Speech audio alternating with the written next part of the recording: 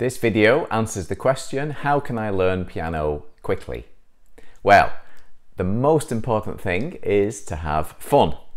So your brain will absorb the information massively more effectively, efficiently and much quicker if you are enjoying yourself. A bit like children learn through play really, really well and you don't notice time passing. And so if you have to really, really work at piano and it feels like a chore, then I would suggest that is not a quick way to learn and it certainly isn't fun.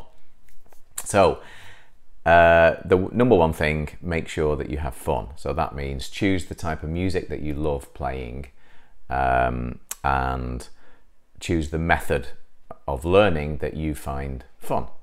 So three other really important uh, aspects then that I believe are the, the most important things that will impact your speed of learning once you've chosen the music that you like to learn and you're uh, have chosen a method that you find fun is understanding the language of music and the easiest way to do that is not to spend years and years doing theory and reading notation and all that kind of stuff that I had to do as a child.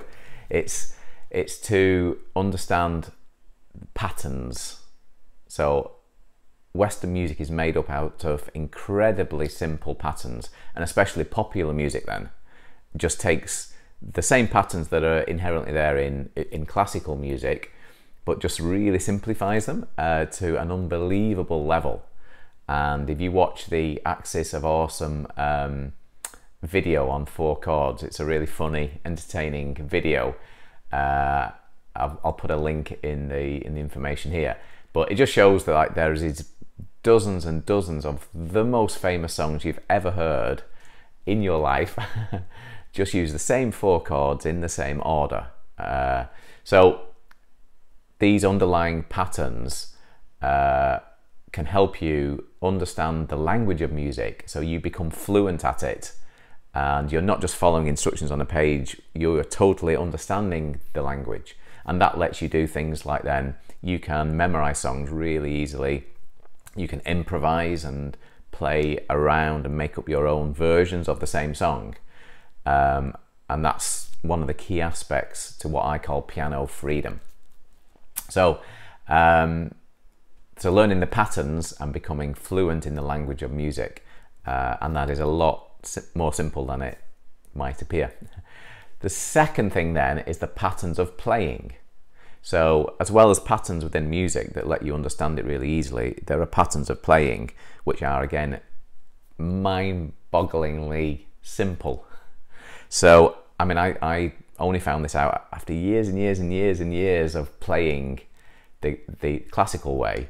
Uh, I didn't realize that all these simple underlying patterns were there right from the start, it's just that nobody had ever pointed them out to me.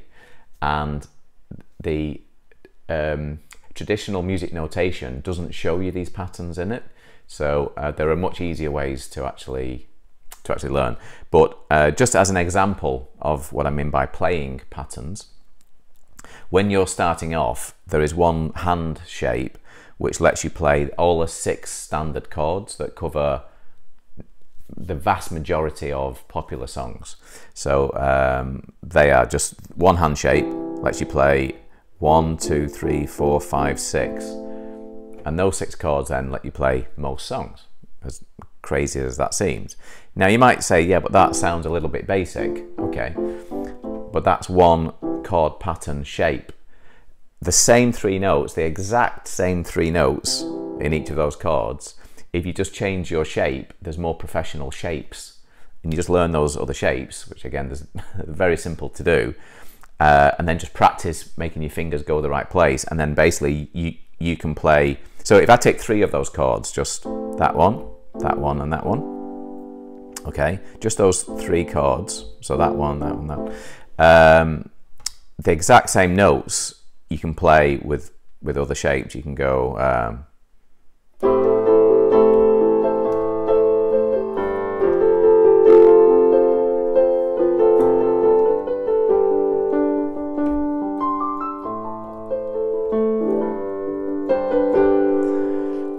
So that might look like there's a lot going on there, um, and all we're doing is actually doubling up on the notes um, and just playing them in a different order.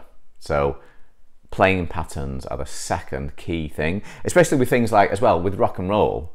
It's just basically it's all about a pattern. So each rock and roll song will have a, a pattern, and you just apply that pattern onto a chord pattern.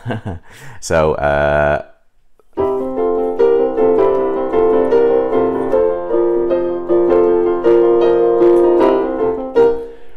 again, it looks like there's a lot going on, but it's incredibly simple. So the third thing then is to get the tuition style that fits your ultimate goal. And again, I've covered this in other videos, but um, but basically you you need to be clear in your own mind whether you are trying to play instrumental piano, where you you are playing the melody that somebody would sing, uh, or whether you want to play the accompaniment where you or somebody else sings, which is great for parties and things like that, uh, or whether you want to play classical music where there's an exact series of notes that you want to play. So that would be Einaudi style of music or Beethoven, those types of things. So the three very different styles of um, playing and to get the fastest result, you need the, the method that is designed for that particular method. If you just take the, the standard way of learning, which I did as a child, which was the classical route where I wanted to play pop,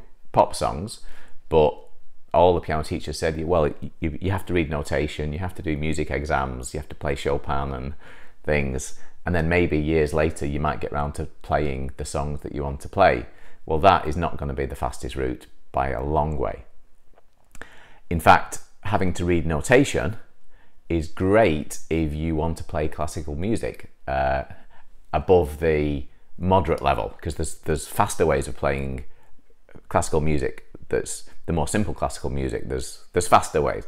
But if you want to play complicated classical music then notation is the best way. That it was that's what it was designed to do and it does that very well for complicated classical music. It's highly inefficient for playing popular music. So if you want a quick uh, results in popular music, there are much better ways. I've covered this in far more detail uh, in other videos. If you haven't seen those, uh, the quickest way to get those is go to the website decplay.com put your email in and join the email list, and everybody on the email list gets those more detailed videos.